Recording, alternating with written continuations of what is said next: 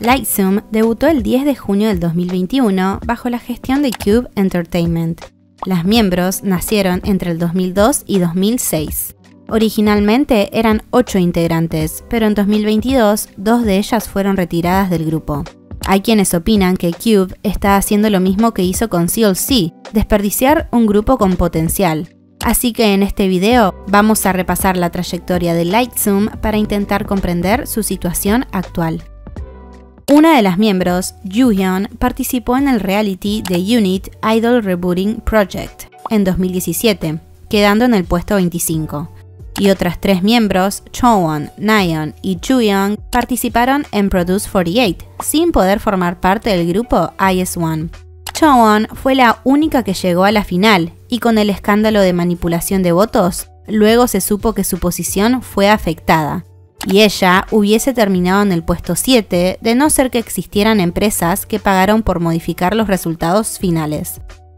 El tiempo pasó y en abril del 2021, Cube Entertainment anunció que debutarían a un nuevo grupo de chicas.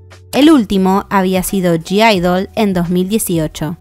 Publicaron videos teasers de las miembros y videos de más de 5 minutos en donde cada una se presentó y habló sobre su vida el primer single álbum de Lightzoom titulado Vanilla junto a su video musical fueron publicados el 10 de junio del 2021 logrando vender más de 41.000 copias, un buen número para un debut. Con esto lograron romper el récord de ventas para un grupo nuevo del 2021. Luego de eso, el grupo publicó una serie de covers de baile y de canto para mostrar más sus encantos y habilidades.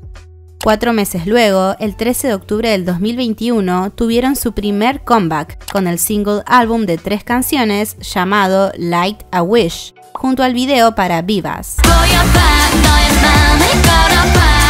Lograron vender más de 28.000 copias. Con este regreso, hubo personas que pensaron que tenía una vibra similar a IS-1. Teniendo en cuenta que tres miembros compitieron para ser parte de ese grupo, hubo opiniones divididas al respecto. La disolución de IS-1 había pasado poco antes de ese lanzamiento.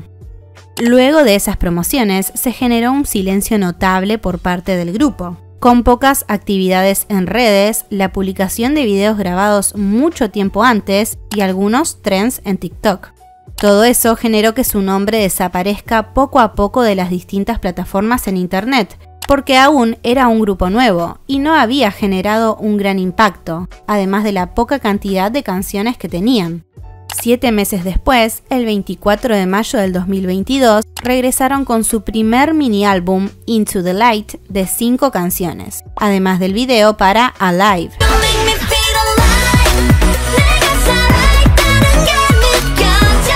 Aunque la respuesta de sus fans fue positiva, las ventas en este caso continuaron disminuyendo, llegando a casi 18.000 copias. Luego de las promociones, nuevamente el grupo se mantuvo inactivo y cinco meses después, el 25 de octubre del 2022, Cube Entertainment anunció que Hyun y Jian dejarían el grupo.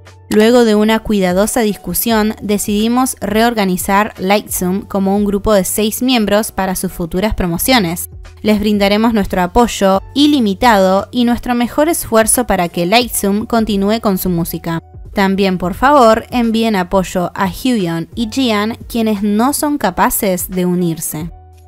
Como pudieron ver, no especificaron la razón de su decisión, simplemente dijeron que no podían unirse al grupo.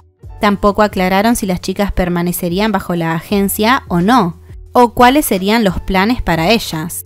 La reacción de sus seguidores fue de sorpresa, ya que no hubo indicadores que llevasen a pensar que ocurriría un cambio de esa magnitud. Así que hubo fans que acusaron a la agencia de echar a esas miembros. Si iban a hacer esto, no deberían haberlas dejado debutar en primer lugar. Ustedes fueron quienes decidieron debutar a un grupo numeroso. ¿Qué pasa con las miembros que las retiran? Parece que no se pensó mucho en qué decir en el comunicado. Si pensaban que no iban a servir, deberían haberlas dejado ir antes de que debuten, así podrían buscar otra agencia. Hubo debates sobre que esas chicas no encajaban en el grupo desde el comienzo. Si hubiesen hecho un mejor trabajo eligiendo a las miembros, al grupo le hubiese ido mejor. En esta situación, pierden ellas. Aunque no eran las miembros más populares, no está bien simplemente echarlas luego de debutar. No estoy seguro de qué está pasando en Cube. ¿Están seguros de que se fueron por su cuenta? Lightsum tenía 8 miembros cuando la mayoría de grupos tiene 5 o 6, así que parece que echaron a las miembros menos populares. No solo el comunicado es insensible, pero muestra que no les importan los fans. Es demasiado. Gian es muy joven. Honestamente pensé que el grupo sería mejor sin las miembros menores, por eso no creo que se hayan ido por su cuenta. La única miembro de las menores que no echaron es la más popular. Parece que echaron a las miembros menos populares. El 31 de octubre, una de las chicas expulsadas, Gian, compartió una carta escrita a mano. Debuté en Lightsum cuando estaba en la escuela media y comencé la escuela secundaria poco después. Gracias a nuestros fans fui capaz de experimentar muchas cosas, crecer y recibir mucho cariño. No creo ser capaz de olvidar a los fans que vinieron a vernos, que esperaron con lluvia y sol, que enviaron mensajes de apoyo, que me alentaron a través de videos o cartas. Claramente hubo momentos difíciles, pero gracias a ustedes pude atravesarlos. Y ahora, un año y cuatro meses después, soy una persona más fuerte. No creo que este sea el final. No dejaré ir mi sueño y continuaré avanzando. Y creo que el día en donde pueda encontrarme de nuevo con ustedes llegará. Sé que se preocuparon por mí, pero espero que no estén tristes por esto. No piensen que es el final. Gracias otra vez por amarme y por favor apóyenme en el futuro. Por parte de Huion no hay actualizaciones hasta el momento. Vale aclarar que para ese tiempo Jian tenía 17 años y Hyun también. Así que hay personas que consideran que Cube buscaba un cambio de concepto más maduro para intentar salvar al grupo. O tal vez los estudios de las chicas estaban interviniendo con el tiempo que la agencia quería que inviertan en sus carreras. Luego de la salida, el grupo lanzó un reality llamado Sometime University.